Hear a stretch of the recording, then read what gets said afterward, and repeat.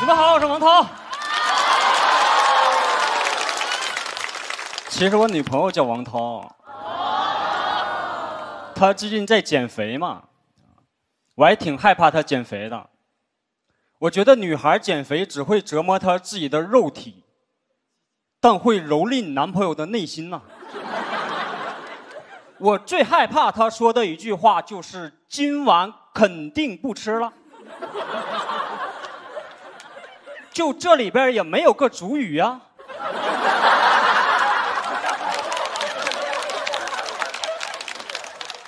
我感觉从他宣布减肥开始，在家吃晚饭这件事就不合法了。我吃点东西不分给他，他就生气；分给他，他就吃完了再跟你生气。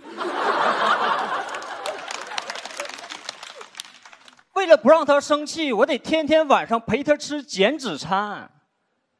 我个一百出头的人吃减脂餐，他减肥一段时间下来，自己没瘦几斤。我瘦脱相了。有一次他坚持了半年，我坐地铁都硌屁股了。而且那个减脂餐也太难吃了。我吃过一个最难吃的减脂餐，叫杰森面包，你们吃过吗？不要吃啊！干吃小麦都比它好吃。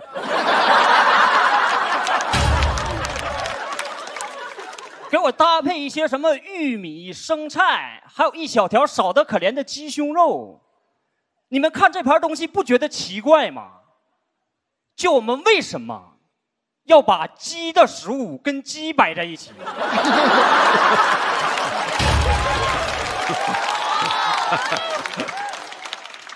你想吃鸡没问题，好歹等他把饭吃完呢。我天天吃这个鸡饲料啊，不到六点就给你饿醒了。起来我啥也不想干，我就想打个鸣。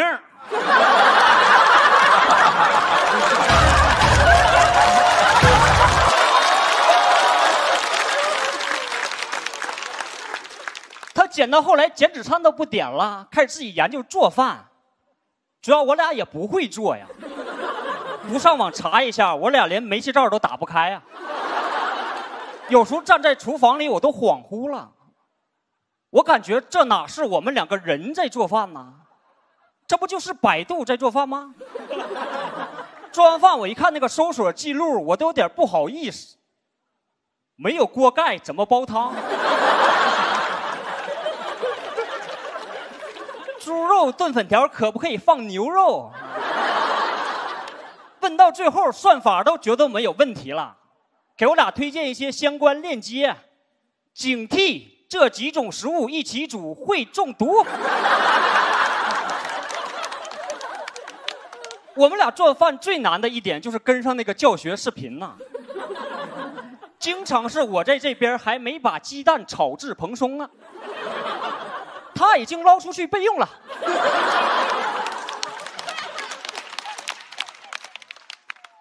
你很难 follow 他 exactly 呀。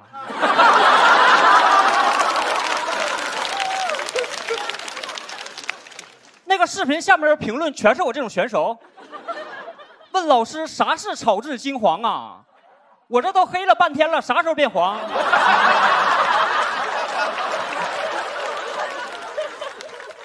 我也有相同的问题啊。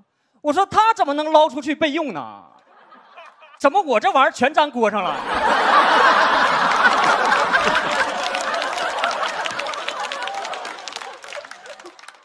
我们俩做完饭，味道放在旁边，咱都不提。锅害能不能要，都得随机应变。我涛哥 A K A 不粘锅终结者呀！一个拿不粘锅能给你做出锅贴的女人。那个糖醋小排给你做的啊，都拔丝了。下锅之前十块小排，一顿操作之后，给我端上来一块肋骨。他这个人越不会做饭，做起饭来还越自信呐。之前我妈从东北给我寄了一根血肠过来啊，我就知道这个东西她都没见过，怎么敢去动手的呢？我家来了个朋友之后，他非要露一手，打开冰箱，特别笃定的跟我说：“你一会儿去菜市场给我买个乌龟回来。”我今天我给你们整个血常规。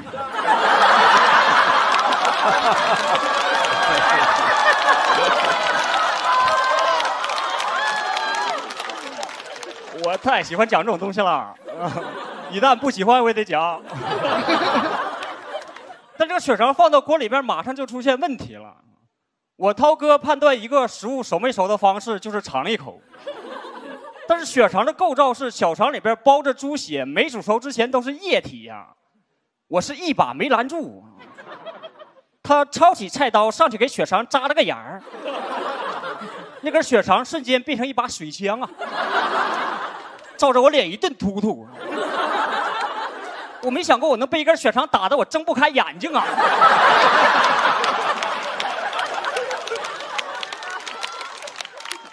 我拔腿就往厨房外边跑！我朋友看着我跑出来都惊了，他说：“你俩做个菜怎么炒成这样啊？”还没等我解释呢，我涛哥浑身是血，拎着把菜刀就出来了。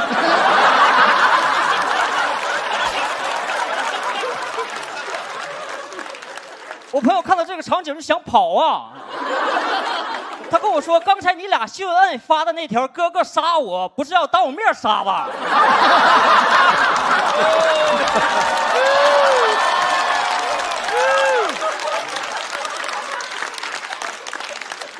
我真没自信，劝我朋友留下来吃饭了。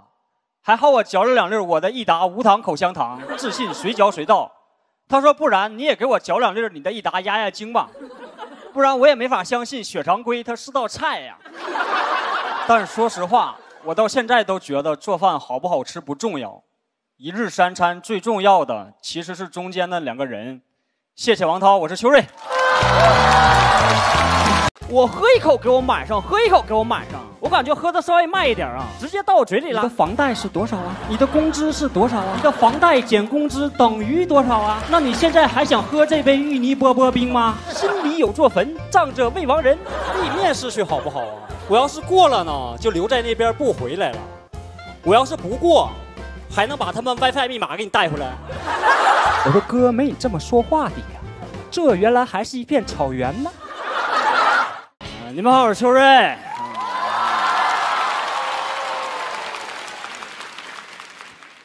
我今年入职效果文化了，还挺不适应的。我就从来没有干过这么闲的工作呀，好久都没挨过骂了。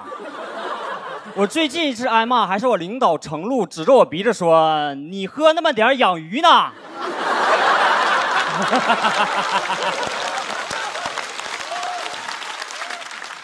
我之前干程序员的时候都没见过凌晨四点钟的太阳啊，现在天天在酒吧看日出。主要凌晨四点的太阳，它也不好看呐，你也看不清。有时候两个，有时候三个的。我这酒桌上挺考验你的社交能力的，是吧？我就挺差的。我觉得我们这代人呐，多多少少都有一点社恐。我最害怕碰到的人就是另一个社恐。我们两个人聊天就没有什么对话的概念了。那就是互相提问题呀。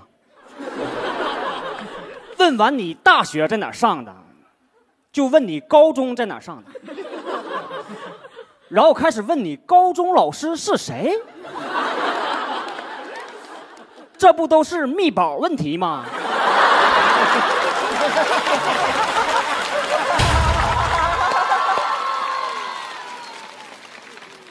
咋的？聊完天偷我 QQ 号去啊？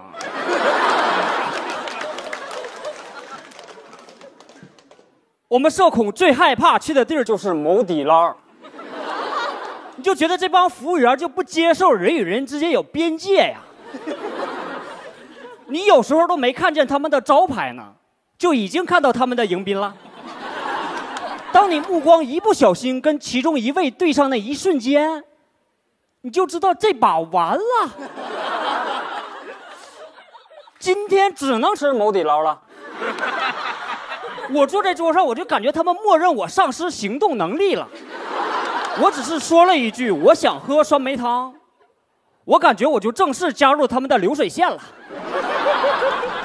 一杯杯给你倒，也不知道个停啊。我都吃完饭了，我想着临走之前把这杯喝完呗。等我起身穿衣服的功夫，又给我满上了。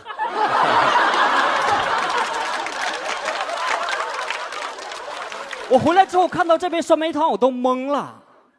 我说我刚才到底喝没喝过什么？怎么硕大一个火锅店就容不下一个空杯子呢？你感觉在这个地儿都玩不了那种时间静止的快闪，你就不管把时间停在任何一秒，都至少有一个服务员正在倒酸梅汤。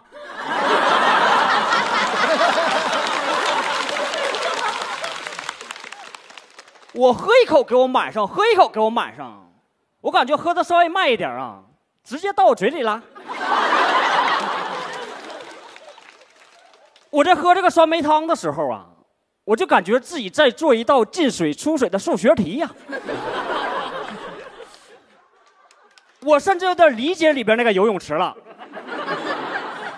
就有人一直给你往里倒，你都不知道要不要排出去了。我正想着怎么把这点水排出去呢，我朋友突然站起来了：“今天秋瑞过生日。”然后服务员看了我一眼。当我跟他目光对上那一瞬间，我就知道这把完了。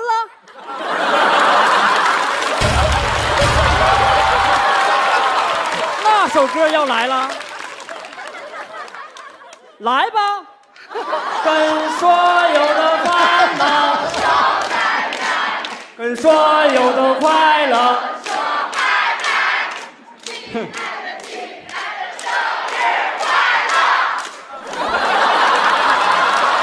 为什么他们都聊啊，毛利？当时场面就跟现在一样尴尬。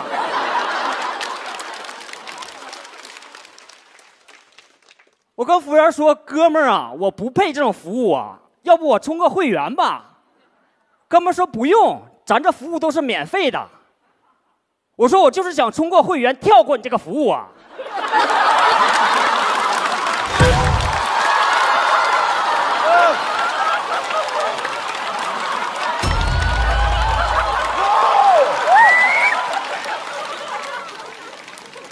等我们从这家火锅店出来的时候，朋友还问我呢：“人家服务员服务这么到位，你凭啥有这么大的情绪呢？”我说：“我刚开始啊，压根儿也没想吃这个火锅啊。再说今天他也不是我生日啊。”谢谢你们，谢谢你们。你好，我是秋瑞。我感觉这几年大家过得都不是很好，是吧？都在研究什么消费降级，但我们这代人就没有什么精打细算的能力呀，是越想省钱花的越多呀。你们在直播间买过东西的人都知道，里边东西是真便宜，但也真是用不着啊。我就买了一堆花里胡哨的东西，什么能挂起一个小孩的挂钩，一坐下屁股就凉的屁垫还有自带跑步机的猫爬架，我们家甚至都没有猫啊。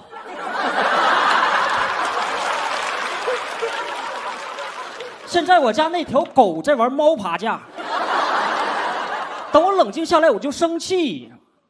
我说我为啥要买这个挂小孩的挂钩啊？我总不能朋友来我家做客啊，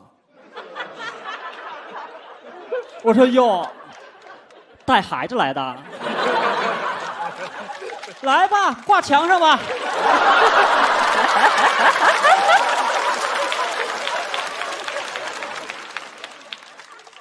等一看账单，我更生气。就现在我多玩一会儿游戏，手机都知道给我做防沉迷系统了。怎么在我沉迷花钱的时候就不知道加一个呢？也不用做的特别复杂，只需要在我每次提交订单的时候给我发几个验证问题就可以了。你的房贷是多少啊？你的工资是多少啊？你的房贷减工资等于多少啊？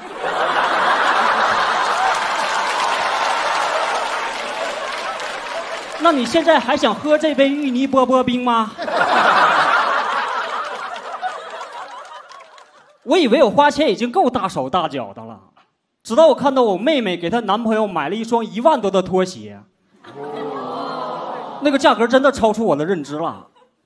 我说咋的呀？是穿上你这双鞋能增加移动速度吗？王者里一双真正能增加移动速度的鞋只卖五百三呐，那是一个杀人都合法的地儿，鞋都不敢卖这么贵呀。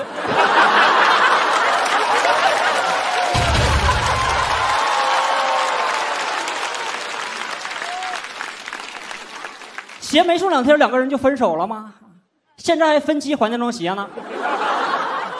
我说你俩好啊，你俩这后会有期是分期的期啊。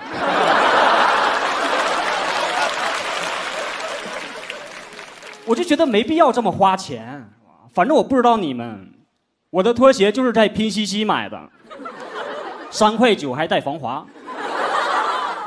就当它便宜到这种程度的时候，你就不会考虑它的性价比了，你只会好奇。对啊，就这玩意儿到底能偷工减料到什么程度？三块九能不能给我寄过来一双左脚？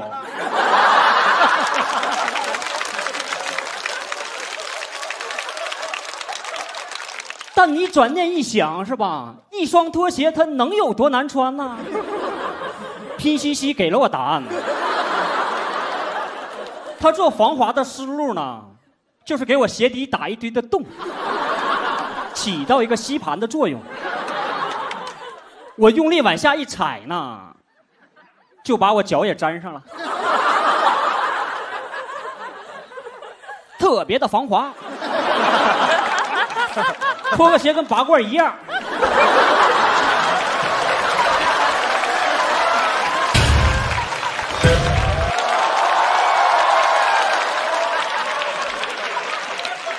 那个卖家还说呢，有了这双拖鞋，你再也不用担心在浴室滑倒了。我就觉得有点过于防滑了。有一天我真摔倒了，鞋还在脚上。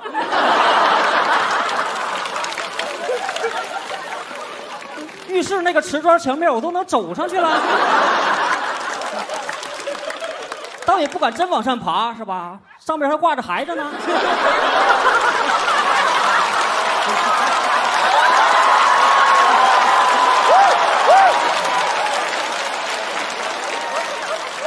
互联网聪明的地方就在于啊，我买了这双三块九的拖鞋呀，我就再也刷不到贵的东西了，全是一堆破烂。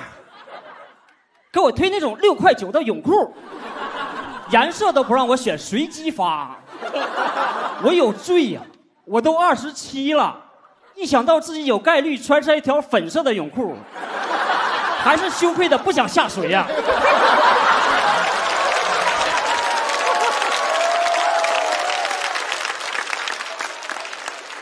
六块九的泳裤，现在刷碗布都七块九了。刷碗布才多大一块料啊！我都想问那个卖家，我说你这个泳裤会不会有点太暴露了呀？卖家说咱都是正常尺寸，能暴露啥呀？我说暴露了我的贫穷。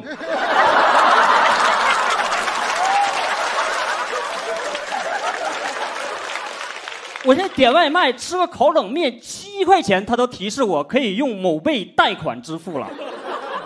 我不知道这帮算法是怎么想的。认准我这啥就往死推呀！我之前干程序员的时候，疯狂的给我推植发广告。我现在才全职干脱口秀一年，已经开始给我推离婚律师了。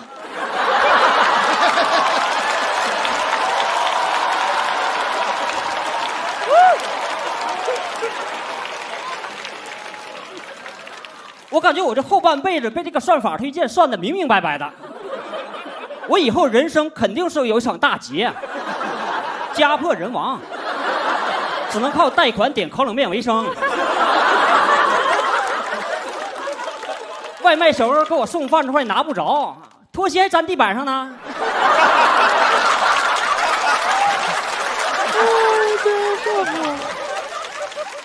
我悲剧的人生已经确定了，是吧？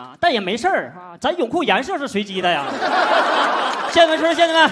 你好呀，秋瑞啊。可以看得出来，不是属于长得特别好看的那一类的，是吧？好看，好看，好看。哇，你们情商真高啊！但我真是上大学的时候才意识到自己是属于长得丑的那一类。就长得丑这个事儿，你是很难有自我认知的。就只有你长得好看，才有人当面夸你。但是如果你长得丑，都没有人提醒你一下，你就只能靠自己悟啊。我之前一直觉得我比胡歌长得还帅，就直到有一天啊，我同学指着我。跟一个比志胜还丑的哥们说：“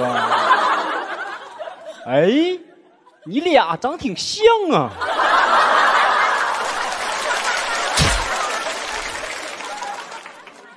我才发现这个事儿不对呀。但是更不对的是，那哥们听完比我还生气。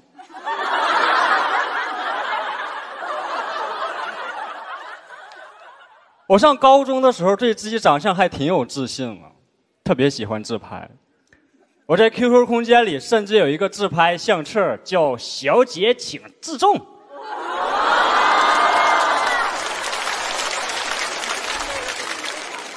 里边每一张照片都展现了一个十七岁的少年对“时尚”两个字的误解呀！我当时觉得杀马特是这个世界上最帅的东西了。我一米七的个儿，烫个一米九的头。这个发型拍合照的时候就特别尴尬，以我的身高拍毕业照只能站在第一排，但是我的头发就把后边人挡上了嘛。我老师让我站在最后一排，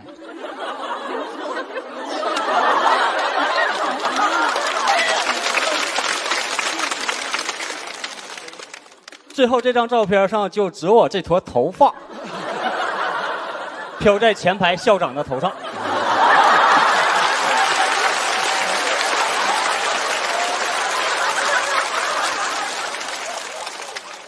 我那个时候真的太爱杀马特了，我把自己 QQ 名称都改成了叫“障碍胡歌”。高中时候大家都特别喜欢装忧郁，是吧？我为了装忧郁真的牺牲太多了，我甚至还买了一本教材。叫《小时代》嘛，上课的时候看被我们老师发现了啊！东北老师教你的方式就讲究一个赶尽杀绝呀，抓到我上课的时候看《小时代》，就去图书馆给我借了一套郭敬明全集，让我抄一遍。这是我见过最南辕北辙的教育方式了。我要是抄完一整本《小时代》。整个时代还能有比我更会忧郁的人吗？马上就要考试了，别的同学都在复习，没有力的作用就没有加速度，我在那边默写，没有物质的爱情就是一盘散沙。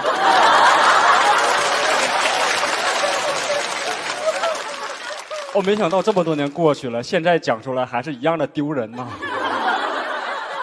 我原以为自己做过的蠢事早晚都会忘掉，但现在科技真的进步了。被你忘掉的事儿，QQ 空间都记得，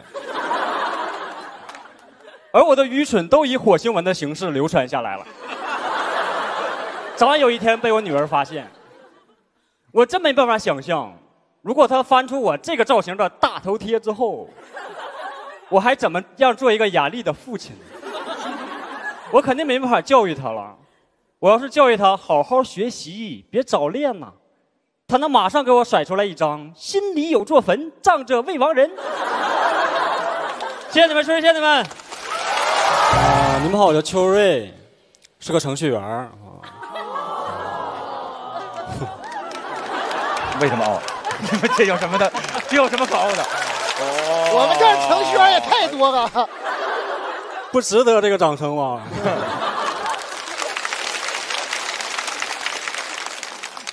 我觉得我跟展豪比，我这个职业就太普通了，我这人就更普通，在公司老板都不知道我的名字，他每次叫我都是那个那个王涛是吧？给我的感觉就是，反正我也想不起你的名字了，那我就赐你一个吧。有一次，他把我当王涛骂了半天，我也没纠正他，跟我也没什么关系嘛。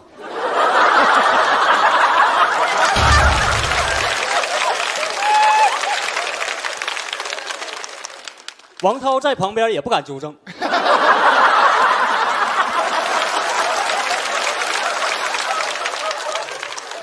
他不知道老板是在指鹿为马，还是在指桑骂槐。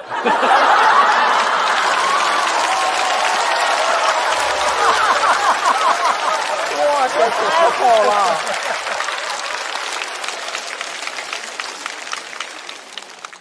我不想上班，不是因为老板叫不出我的名字，是他这个人抠的有点太丧心病狂了，你知道吗？好，这个好。指桑骂槐，对对对，我老板真的太抠了，那个人真的，永远把钱省在刀刃上啊。前段时间跟我们说，明年呐，咱这个无线网就不打算续费了，你们想办法去蹭隔壁公司 WiFi 吧。不是，咱们公司已经开到凿壁偷光的程度了，那我到隔壁面试去好不好啊？我要是过了呢，就留在那边不回来了；我要是不过，还能把他们 WiFi 密码给你带回来。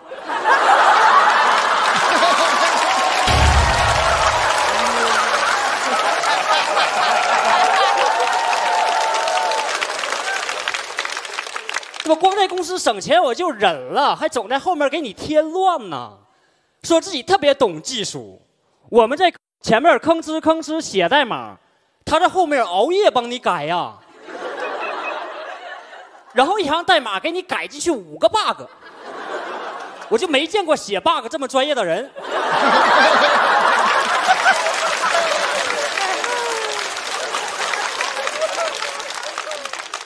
你说他懂技术吧？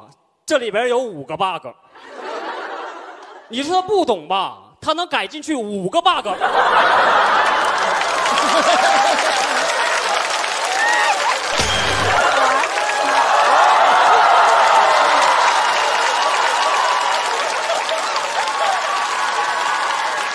太牛了，太牛了，稳了，稳了。有一天都凌晨两点多，我都准备睡了，被 bug 报警吵醒了，就在群里问了一嘴有没有人动我的东西，就果然被我老板改了。他改我的理由也特别离谱，他觉得我首字母没有大写，太丑了。我看是嫌我头发太多了呀，这跟半夜跑到我被窝里薅我头发有什么区别？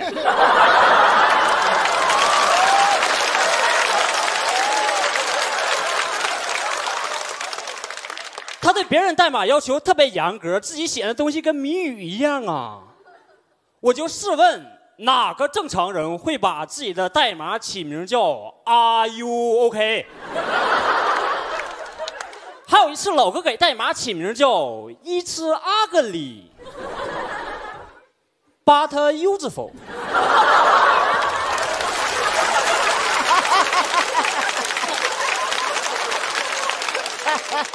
我点进去一看，确实很 ugly，就想看一下他到底有多 useful。我就把整段都删掉了，发现毫无变化。我就给他代码改了个名，It's nothing but ugly。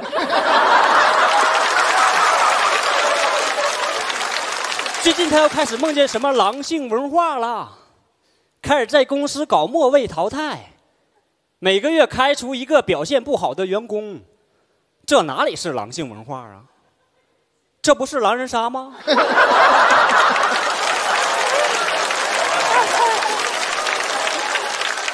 咱们公司一共就仨人，就别末位淘汰了吧。我自己离职就得了吧。临走之前，我老板还假惺惺的跟我说呢：“王涛，公司离不开你。”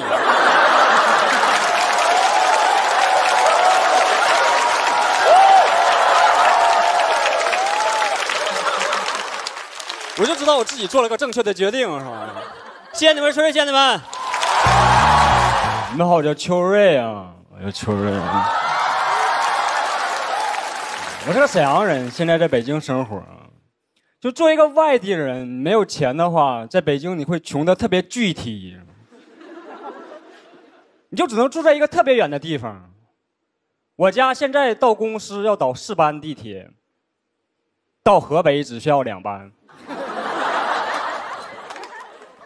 而且我去租房子的时候，租房软件上有个特别气你的一句话呀，它让你输入你想住的地方。我是想住郊区吗？我坐地铁有瘾呢。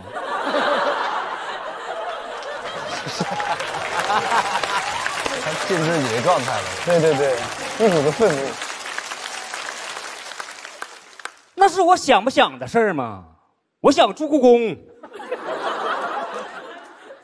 都没有钱，你不想住郊区，就只能跟人合租是吧？家里东西坏了都没人修，我家那个卫生间灯泡坏了就没人修，逼着你拿浴霸照明啊，那叫一个晒呀！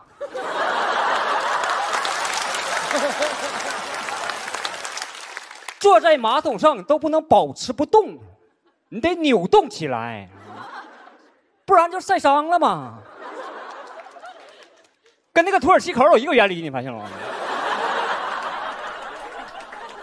我现在晒的一天比一天黑呀，还有同事问我呢：“秋丽，你最近是去做美黑了吗？”我都不好意思跟他说，我最近就是有点拉肚子。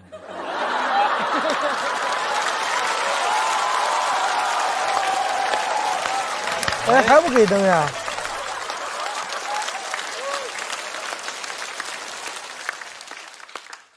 我们这帮外地人想租个房子太难了，是吧？每隔一段时间就要去找几个房产中介，听他们给我们重新定义一下什么叫一居室。我跟中介说：“你给我找个一居。”他推门就带我进了个两居，跟我说：“这原来是一居。”我说：“哥，没你这么说话的呀。”这原来还是一片草原呢！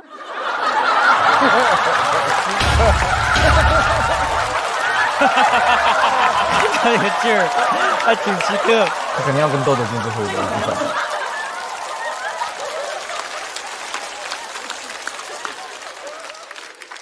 他带我看过一个最离谱的房子，那个户型名就叫“钻石房”，什么意思呢？就是你在这个屋子里边吧，找不到一个直角，却有四个东南角。你走进这个屋子，就感觉走进了钻石的内部，你都没办法说它家徒四壁，那玩意儿最起码家徒十二壁。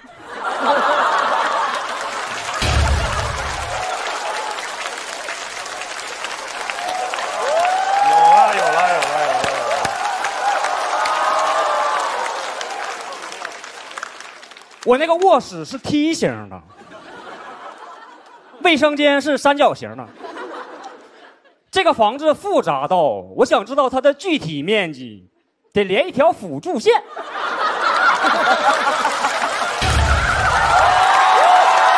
我去，好巧啊，这个梗。哦，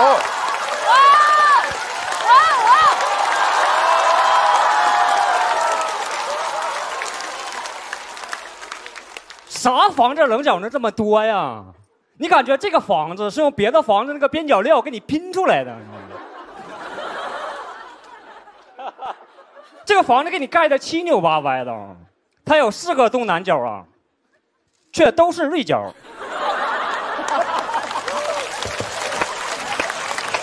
我这魔怔了。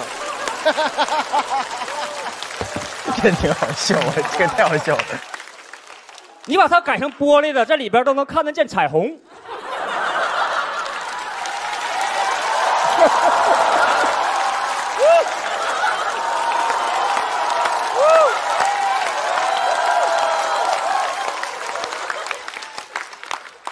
但是这个房子有个特别大的优点啊，它应该有全世界最安全的卫生间了，三角形的嘛，就算地震来了也打乱不了我洗澡的节奏啊。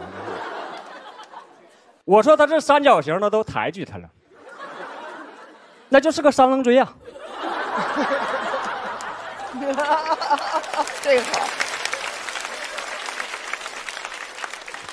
他墙跟地面都不成一个直角，他要给你成一个四十五度。最让我不能理解的呢，是我房东阿姨给我把马桶塞在了这个角里边，让你根本站不到它前面啊。你想走进那个空间，得把自己的身体跟它摆成一个同位角。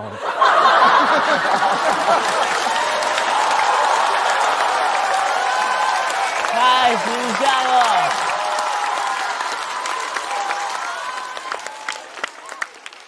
慢慢顺进去，你看。关键这个姿势你进去了就站不起来了呀。我长这么大第一次被一个墙角堵在了一个墙角。